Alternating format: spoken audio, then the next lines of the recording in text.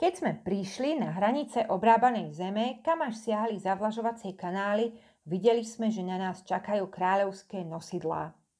Otroci sa vrhli na zem a z nosidel pristúpil k nám tučný kňaz oholenou hlavou a ponurou krásou tmavej tváre. Vystrel som pred ním ruky vo výške kolien, lebo som predpokladal, že je to kňaz Boháre Harachtého, o ktorom rozprával Ptahor. On si ma však nevšímal. Hodil sa pred následníkom trónu na tvár a pozdravil ho ako kráľa. Z toho som vyrozumel, že Amenofis III zomrel. Potom pribehli otroci, aby sa ujali nového kráľa. Umili mu končatiny, poutierali a natreli ho vonnými masťami, zabalili ho do kráľovského plátna a na hlavu mu položili ozdobu kráľov. Medzi tým sa Eje obrátil ku mne. Stretol sa so svojím bohom, synuhe? Spýtal sa. Stretol sa so svojím bohom, povedal som. Bdel som nad ním, aby sa mu nestalo nič zlého. Odkiaľ vieš moje meno? Usmial sa a povedal. Mojou úlohou je vedieť o všetkom, čo sa deje v paláci, kým príde moja hodina. Viem tvoje meno a viem, že si lekár, preto som ho mohol zveriť do tvojej ochrany. Viem tiež, že si Amonovým kňazom a že si tomuto bohu zložil prísahu. To posledné povedal hrozivým tónom. Ja som však zdvihol ruku na obranu a spýtal som sa. A čo už znamená prísaha pred Amonom? Máš pravdu, povedal, a nemusíš ju ľutovať. Veď teda, že tvojho chránenca zachváti nepokoj, len čo sa mu Boh priblíži. Nič ho potom nezadrží a nedovolí nejakému strážcovi, aby ho následoval. A predsa ste boli celú noc v bezpečí, nejaké nebezpečenstvo vám nehrozilo. A ako vidíš, očakávajú ho nosidlá. A tento kopíník? Ukázal na Haremhaba, ktorý stál trochu bokom a rukou skúšal hrot svojej kopie, zatiaľ čo mu sokol sedel na pleci. Bolo by azda lepšie, keby zomrel, lebo faraónové tajomstvá nemajú poznať pri mnohí. Svojim plášťom ochránil faraóna pred zimou, povedal som. Je ochotný namieriť svoju kopiu proti faraónovým nepriateľom. Myslím, kňaz Eje, že viac osohu budeš mať zo živého ako z mŕtvého. Tu mu Eje nedbanlivým pohybom hodil zlatý krúžok zo svojej ruky a povedal – Niekedy ma môžeš navštíviť v zlatom dome, kopíník. Ale Haremhab nechal spadnúť zlatý krúžok k svojim nohám do piesku a vzdorovito pozrel na Ejeho. Príjmam rozkazy iba od faraóna, povedal. Ak sa nemýlim, ten, čo má kráľovskú ozdobu hlavy, je faraón. Sokol ma doviedol k nemu, to stačí. Eje sa nenahneval. Zlato je cenné a vždy užitočné, povedal. Zdvihol z piesku zlatý krúžok a znovu si ho navliekol na ruku. Tak sa pokloň svojmu faraónovi, kopiu však v jeho prítomnosti odlož. Následník trónu k nám pristúpil. Tvár mal bledú a vycivenú, ale ešte vždy rozžiarenú tajomným ohňom, ktorý mu rozohrieval srdce. Následujte ma, povedal. Následujte ma všetci po novej ceste lebo sa mi zjavila pravda. Sprevádzali sme ho k nosidlám, hoci Haremhab mrmlal. V kopii je pravda. Odhodlal sa však odovzdať kopiu hlavnému bežcovi a my sme si posadali na tyče, keď sa nosidlá dali do pohybu. Nosiči bežali klusom k brehu, kde nás už očakávala loď a vracali sme sa do paláca tou istou cestou, ktorou sme prišli a nevzbudili sme pozornosť, hoci ľud stál v hustých zástupoch pred múrmi. Smeli sme ísť s následníkom trónu do jeho komnát a on nám ukázal veľké čbány z kréty, na ktorých boli vyobrazené plávajúce ryby a iné zvieratá. Bol by som to doprial vidieť Totmesovi, lebo dokazovali, že umenie možno chápať aj inakšie ako v Egypte. Keď sa vyčerpaný následník trónu upokojil, rozprával a správal sa tak rozumne ako ostatní mládenci nášho veku a nevyžadoval si prepiatú zdvorilosť a úctu. Potom ohlásili, že prichádza veľká kráľovská matka, tak sa mu poklonila. Tu sa s nami rozlúčil a slúbil nám obom, že na nás nezabudne. Keď sme odišli, Haremhab nerozhodne na mňa pozrel.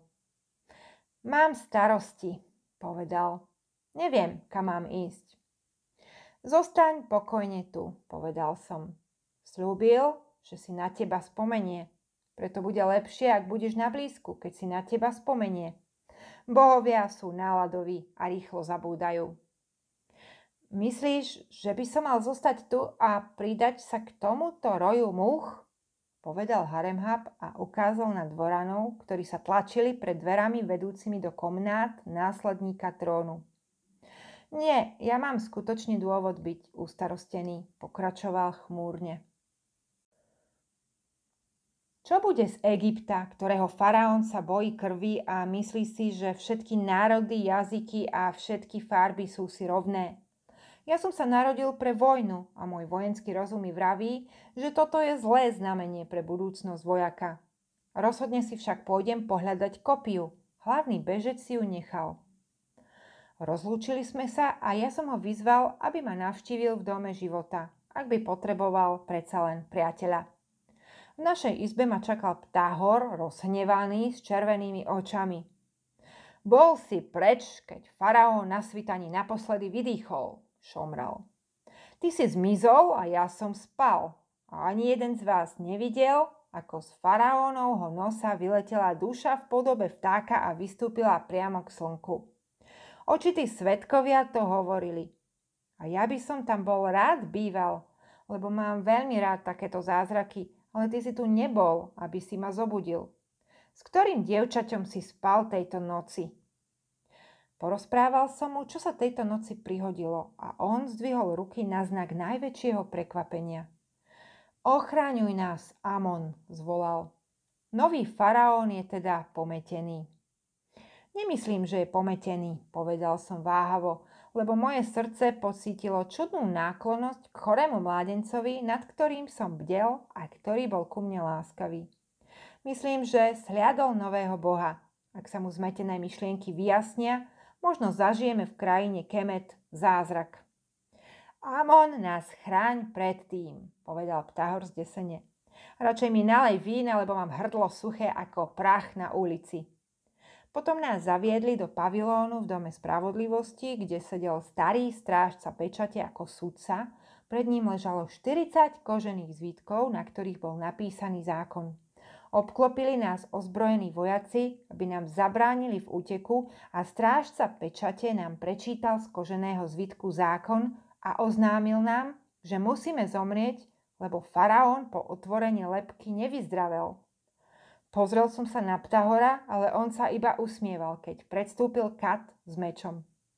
Nech ide zastavovať škrvácania prvý, povedal. Chce sa do západnej krajiny dostať predsa rýchlejšie ako my. Zastavovač krvácania sa s nami priateľsky rozlúčil, prežehnal sa svetým znamením, Amonovým a pokorne si kľakol pred koženými zvitkami na zem. Kat zamával mečom a opísal ním kruh nad hlavou odsúdeného. Len to tak svišťalo. Zadržal však úder, takže sa ostrie iba celkom ľahko dotklo krku zastavovača krvácania. A predsa zastavovač klesol na zem a my sme si mysleli, že od strachu zamdlel, pretože na šíji mu nebolo vidieť ani najmenšiu ranu. Keď prišiel rad na mňa, nebojacne som si klakol. Kat sa zasmial a dotkol sa mečom mojej šie a už ma viac nestrašil. Ptahor bol toho názoru, že je taký malý, že si ani klaknúť nemusí a Kat zamával mečom nad jeho šijou.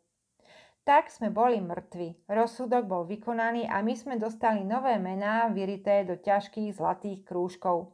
Na ptáhorovom krúžku bolo vyrité ten, ktorý sa podobá paviánovi a na mojom ten, ktorý je osamelý. Potom odvážil pre ptáhora dar v zlate – aj pre mňa odvážili zlato a dostali sme nové šaty a po prvý raz som mal oblečené nariasené rúcho z kráľovského plátna s golierom, ťažkým od striebra a drahých kameňov. Ale keď sluhovia chceli zdvihnúť zastavovača krvácania a prebrať ho z mdlob, už sa neprebral, lebo bol mŕtvý. Videl som to na vlastné oči a môžem dosvedčiť, že je to pravda. Ale nemôžem pochopiť, prečo zomrel, iba ak sa to stalo preto, že veril, že musí zomrieť. Lebo napriek svojej prostote mal schopnosť zastavovať krvácanie a taký človek nie je ako ostatní. Hoci celá krajina smutila za faraónom, rozšírila sa správa o zvláštnej smrti zastavovača krvácania a kto ju počul, nemohol sa zdržať smiechu. Mnohí sa nahlas smiali a plieskali sa po kolenách, lebo to bola naozaj smiešná udalosť. Aj mňa úradne pokladali za mŕtvého a odteraz som nemohol podpísať nejaký spis bez toho, aby som k menu Sinuhe nepripojil označenie ten, ktorý je osamelý.